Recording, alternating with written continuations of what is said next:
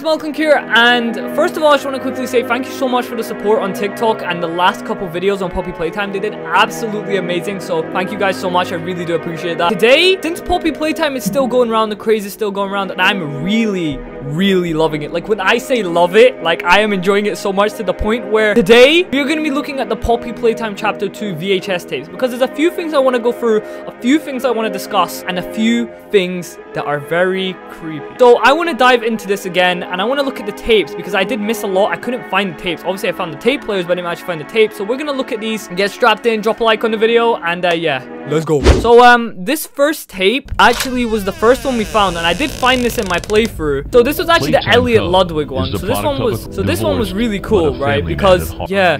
Also, I don't know why they blanked his face in this. So, we get some backstory here on Ludwig. I'm not going to fully watch this one because I've already actually watched it from my playthrough. So, if you do want to go check that out, go check that out on my first part of Poppy Playtime Chapter 2. I want to talk about some things because there was a few things that really stood out to me here because Ludwig's dead and then I think after Ludwig died, obviously the scientists that he, you know, he wanted to take over his experiments, his everything that was going on, he let them do it, he let them take over, and this is where it gets so creepy. So I actually noticed as well, in the color coordination game, there's actually a certain thing with the letters. So if you see the orange, orange, right? So I was always thinking when we were playing that, the orange sounds kind of strange. The orange sounds kind of weird, right? Because it's like orange. I don't really know. It has a weird saying to it. Either way, people were saying it sounds like organs.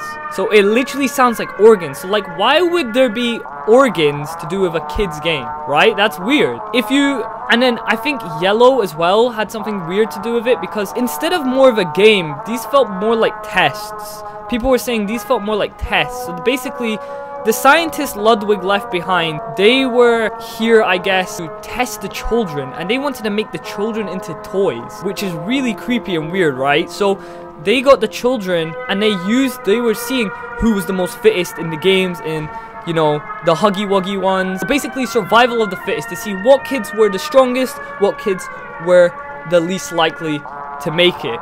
So therefore, what they done with those is they got those kids and tried to make them into toys, which is completely what Ludwig did not want. Because me and my friend were actually talking about this yesterday, and that's why I wanted to like delve more into it because I was really, really intrigued. I don't know, Poppy Playtime has that feel where the game is just so intriguing and so creepy. So I don't really care about this first tape. The bright green tape, that's just on the hand, so we don't care about that. This is one of the tapes I have not seen. So this was actually in Brontos. Oh, I couldn't find the tape. So actually, Oh, it was right here. Are you serious? well, yeah, I couldn't find the tape the whole way through. And I'm guessing this is where it was. So then we come here, we place inside the tape player, and now we get... What are we gonna get? Well, it finally happened. After years of being ignored, the company actually heard all my complaints. Yep, they listened to them very carefully. I guess my words must have really inspired them to take action. Okay. Because the next day I got demoted down here to the freaking island of misfit toys! Why do I talk to myself? What the hell? Okay, so that guy was... Is this one of the toys? Okay, what toy is this now? Have we seen this toy? I'm not too sure, but he's sitting on a toilet for some unknown reason. He's talking about them demoting him. So did they have like levels for the toys and then I'm taking it for what I guess I guess mommy was like one of the top ones then I'm guessing after she died though now because you know we killed her off thank god. Seen the Jacksepticeye tape. I have not seen this tape here. So this one's an IRL one. So we got Jimmy company's Roth. profits. How do you do it? You know, it's not what you'd expect. It's the little things most people don't even think about. Like, take names, for example. Express people haven't realized this. You take the E sound, slap it on the end of a name, boom, you're making bank. Huggy, mommy. Even Elliot knew this way back with Poppy. I guess I Oh, kind blue. of. Blue is huge. I'm telling you. What's your favorite color? Blue? I bet it's blue, right? It's blue? It's green. Okay, well, you're a special case. Most people would say blue. But seriously, marketing is not as easy as you think. I make it look easy. If there's anything Playtime Co. should be known for, it's not toys, it's marketing. Okay. Okay, so that's not too important. He's just talking about, you know, how they market the toys with every, with, you know, Mommy Huggy by adding the little E's at the end and the color coordinations and the color schemes. Okay, now this was another tape we didn't see as well. This is the red tape. pre-recorded announcement to address the many complaints regarding an alleged very, very big spider crawling around in the facility. Mm -hmm, So they're talking about it. Playtime Corporation wants me to remind you all that spiders that big Don't do exist. not exist, and that if they Mm. did, quote, we would already be dead anyways, end quote. Regardless, you can all rest assured the company is sending some specialists down here to have a look around and relieve the constant whining.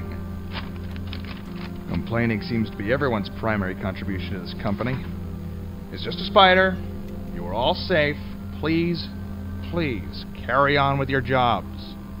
So they were talking about, you know, there's not actual big spiders there and everything. So I think that's when they first created Mommy. They were just talking about how, you know, she's massive. Maybe the workers kind of felt like threatened by her, you know, and feared by her because, you know, her massive size and, you know, her just long arms. She just, like, she's meant to look friendly, but to kids, she probably looks very friendly. To adults, she probably looks very threatening. And then we also have this tape. This was the last tape, and this is the most crucial one to this chapter, I would say. Log code 08502. In relation, experiment 1006. The prototype. This A close call occurred this week in which he nearly breached containment. The prototype seemingly disassembled the digital alarm clock within his room and utilized the battery, along with several other components, to create a laser pointer, which he then fired into the security camera, disabling it. These actions allowed him 28.3 seconds completely unmonitored. Once function returned to the camera, the room appeared to be empty. One surveillance specialist went in to confirm his absence. However, upon opening the door, she realized that the prototype had hidden in one of the camera's blind spots. The prototype attempted to escape through the open door. However, another surveillance specialist was able to remotely relock the door, despite the other specialists still being inside. One casualty occurred. The prototype seems to possess an unprecedented level of intelligence beyond that of all other test subjects, as well as an alarming willingness to commit violence. Further suppression treatments will need to be enacted to ensure that no other experiments develop these qualities. Experiment 1170, Huggy Wuggy, remains the optimal outcome due to his sufficient intelligence paired with maximum obedience. End of log. So this actually gives us so much more about the big creature with the hand that grabbed mommy at the end. So basically as well, people were saying this is a spider. I actually don't think it's a spider. I think it's maybe gonna look like a spider in its full form, but there's a bone here and this looks like a massive human's bone. People were also getting like Coraline vibes with the big like hand, like the creature like that. Like um, I think it's the Beldam. Me and my friend were talking about this and he was like, it looked like a spider. And then I pointed it out and I was like, no, because the bone is so big here. Why would a spider have that? And also, there's a few pictures where people went behind the game to see some things, you know, to get more in depth of what we can't see. And you can actually see the hand is huge and it's faced like an arm it's not it's not really faced like a spider. At the end of the chapter you can also see that we're ne our next uh, location is playcare but people broke the game and tried to go through and tried to go see you know what the next playcare looks like but you know you can't actually see it. And as well we were talking about kissy missy right? I've got a theory on kissy missy. I don't think kissy missy's good. Now if i'm right about this it'll be crazy but everyone's saying you know kissy missy is lovely. Oh she's so cute and everything. But if you go behind her as she's coming in, before she comes in as a shadow, you can actually see her teeth, her mouth, and you can see what Huggy looks like basically. Before Huggy, you know, because Huggy had his cute form and then he had his evil form. So that does not mean Kissy does not have that as well. So Kissy on the other form looks scary as hell and you can see it before she walks in. Obviously the player can't actually see it when you're playing the game, but if you go behind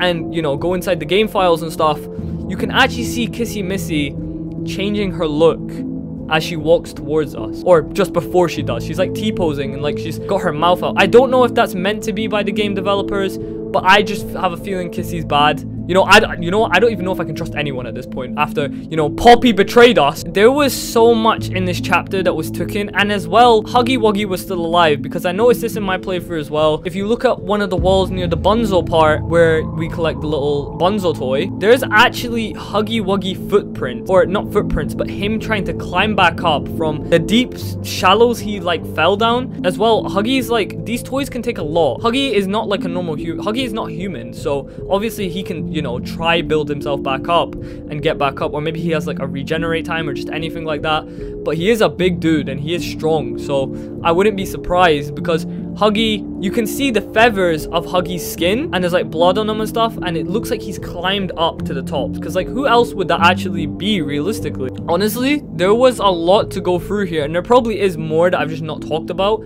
but this creature, Mommy actually says something. She says he is gonna, I think he, she says something like he is gonna use me before she dies and I also heard it as well but I, you know, I didn't think of anything of it at the time. He is now gonna have Mommy attached to him, this big creature, this big spider. Anyways, guys, if you guys did enjoy this video, please drop a like on it, turn notification bells to get my next upload as soon as I upload. And uh, yeah, I'll see you guys in my next one. I'm out.